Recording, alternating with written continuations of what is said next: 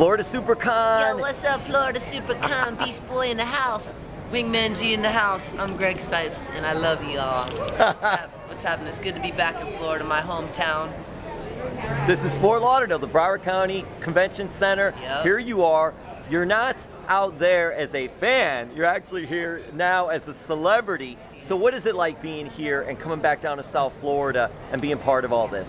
It's really, uh, you know, I feel like I'm dreaming awake. It's a dream come true to, you know, Florida kind of gave me everything that I am now. It's, it nurtured me. It was my um, the, such fertile ground for me. My family really supported me as an actor and a junior professional surfer, and just ever since I was a baby, my, my parents have always kind of inspired me to to get into you know stay in acting and um, audition and drive me to Miami for from Coral Springs, Florida, which is where I spent most of my time. So it's just it's just awesome. Florida's given me so much, so it's great to be back here. I'm a fan as well. now, some of the things you've done, reading that Mike Michelangelo and Teenage Mutant Ninja Turtles, you were in Beast Boy and Teen Titans. That's right. And Teen Titans Go. Mm-hmm. You also were a part of the Fast and Furious. Yep. The Middle, TV show The Middle, very funny and all. Anger Management with Charlie Sheen. Yep.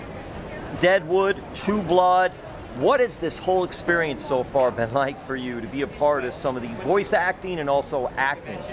The whole experience of being a part of over, I think I've been in over 130 productions now. Um, movies, television shows, uh, cartoons. It's just kind of very um, surreal uh, in, a, in a way that it's kind of better than what I, I, could have imagined. And I still feel like I'm just starting. I'm starting to create my own television shows, my own animated series, movies I'm producing. I just sold my first show to DreamWorks. Um, it's just really fun to kind of now not only be in other people's productions, but also create my own shows, my own movies that I can star in and, and write roles that I want to play and that I haven't been able to play yet. You mentioned Coral Springs, so you're from Coral Springs, went to Coral Springs High School. I, I like the way you're wearing the green and the blue. I don't know if you did that on purpose oh to represent gosh, Corey yeah, of the Coral Springs, High School Colts, colors. Look That's that. exactly blue right. socks too. Very nice. You know, thing, I don't think about things. I actually try to be a nowist and not think about anything. And what happens, everything just kind of divinely aligns itself. So look, Wingman's even got it going. Coral Springs Colts colors. That's so cool. We're in the pride. That's yeah, nice. Green and blue are my favorite colors. Although, I, oh, thanks, Wingedy. Wingman's too. He's the real life Beast Boy. So when you're younger and you're in high school and all, what shows, what do you like watching? What did you enjoy, whether it be acting or just voice acting as well? Well, I, I enjoyed watching the Teenage Mutant Ninja Turtles. That was my favorite cartoon. So now to play Michelangelo in the new Teenage Mutant Ninja Turtles series on Nickelodeon has been really special.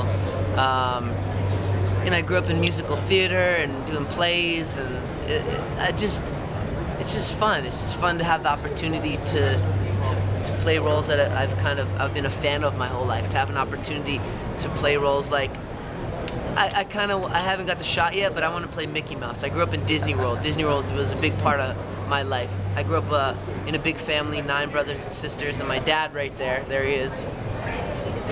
Hey, Dad. Hey. Big sports guy. Big sports guy. That's right. Absolutely. We gotta get closer to the fans. We're live right now. There's my dad, everybody. Um, yeah, so we grew up in Disney World. I, I went there probably, no lie, I don't know, 500 to 1,000 times. He would show up with my nine brothers and sisters and just let us go free. So Disney World was a big inspiration of my life, and I, I've always wanted to play Mickey Mouse, so maybe one day, ha ha ha, ha, yeah, I'm gonna play the cool Mickey Mouse. Yeah, that's what I want to do. That's great. How did you know that you could do voices? How young were you when you started doing well, it voices? started again with my, my family supporting me and kind of inspiring me to get into acting, but voice acting I think really started, my dad would drive us around in the camper, and if you all know what a CB radio is, it's what you talk to the truck drivers with. I would get on the, the CB radio and mess with truck drivers with different voices, and my dad's like, one day you're gonna do cartoons, and, and then it happened. But you know, we drive around the, the United States going to sports events. You know, base, I've been to hundreds of baseball games and football games, and that was what my dad loved to do is take us all to sporting events and Disney World and theme parks across the United States. So it was really fun. And, and wrestling. Oh. I grew up going to the WWF uh, matches, and I watched The Rock a whole bunch. Um, oh, we're gonna get into I mean, a little bit of that. Old school wrestlers, though, before you all were born. so when you guys were going driving around in the camper, just what was that like? And what for you, what were some of the sporting events that you enjoyed going to? One of my fondest memories was I think we were in New Jersey or New York, and the first ever Nintendo console came out. Nintendo didn't exist yet. Nintendo just came out, and my dad bought the Nintendo game console for us to play, and he hooked it up in the camper. So, just a, you know, just being able to play video games in a camper uh, was so cool. Um, that was one of my fo- fondest memories as a little boy in the camper playing Nintendo, driving around and playing Mike Tyson Punch Out. I remember that. Um, yeah, You were in surfing. That was Yeah, huge yeah. for you. So you're going on all these trips, but then you start taking to surfing, going down to Deerfield Beach, where a lot of surfing was going on and all. How close were you to really becoming like a professional surfer? And could you make a career out of surfing? See, the thing is, I feel like I could have continued on with my surfing career. I became third in the U.S. junior pro surfer, and it all it's all because of Florida. It made me a very hungry, passionate surfer.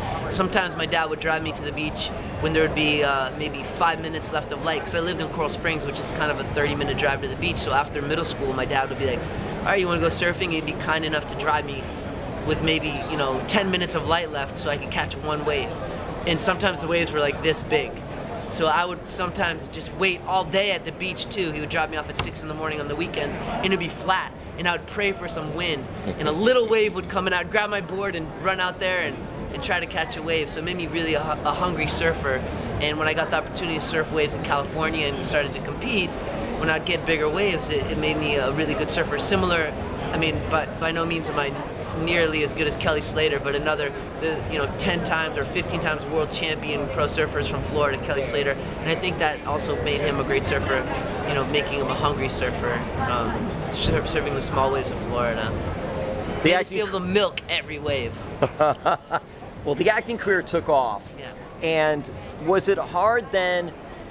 Well, you had, you loved surfing and you loved doing what you're doing, Yeah. but was it hard that you had to put surfing sort of like on the back burner Oh, so because the acting career? Yeah, at, at a certain point, I had to decide: did I want to continue competing as a surfer, or did I wanted to did I want to go into acting? And I felt like I could surf the rest of my life, and I wanted to basically make a difference with my my art. And uh, thanks, Wingman. And I decided to leave. Wingman's happy you yeah, did. yeah. I decided to leave Florida and, uh, you know, decide I could surf the rest of my life and just enjoy it and uh, focus on my acting and directing career. And I moved to, and I moved to LA and I went to UCLA for about two weeks for directing. And I got lucky enough to get a big agent, and I auditioned, um, and I, I never stopped working. From like maybe the first month I, I moved to LA, and I never looked back.